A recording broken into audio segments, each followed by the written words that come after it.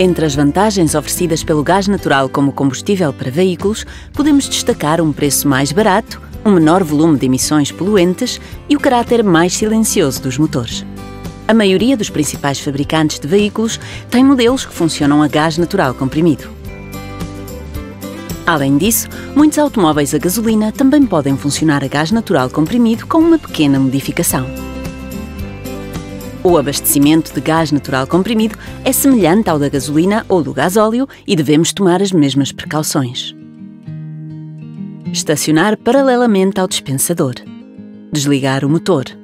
Apagar as luzes. Não fumar nem fazer faíscas. E não usar o telemóvel. Caso a estação de carregamento tenha uma porta no dispensador, é preciso introduzir e retirar o cartão para a sua abertura. Para iniciar o abastecimento, introduzir o cartão e seguir as indicações que aparecem no ecrã. Selecionar o combustível, indicar o número do dispensador e, finalmente, introduzir o pino de 4 dígitos. Retirar a mangueira do dispensador e ligá-la à entrada de carregamento do veículo, verificando se está bem ligada sem ser preciso forçar. Existem dois tipos de ligações de segurança: as mangueiras com alavanca e as mangueiras tipo pistola. As mangueiras com alavanca devem ser posicionadas com a seta a apontar para nós. Depois de fixada, rodar a alavanca a 180 graus até que a seta aponte na direção do veículo para libertar a válvula de segurança. Nas mangueiras tipo pistola, pressionar o gatilho como nas mangueiras de gasolina para libertar a segurança e permitir o abastecimento. Em ambos os casos, para iniciar o abastecimento é preciso pressionar o botão verde podemos interromper o carregamento em qualquer momento pressionando o botão de paragem. A ligação da mangueira à entrada de carregamento do veículo é totalmente estanque, evitando assim a saída de vapores de combustível.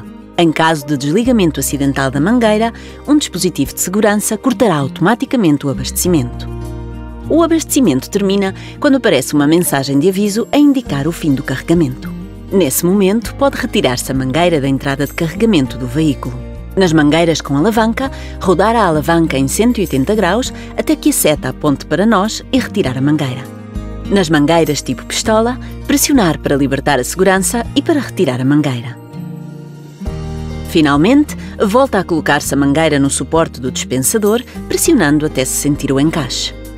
Se desejar recibo do abastecimento, inserir novamente o cartão no módulo de pagamento ou pressionar o botão de recibo, especificando o número do dispensador que utilizou para abastecer.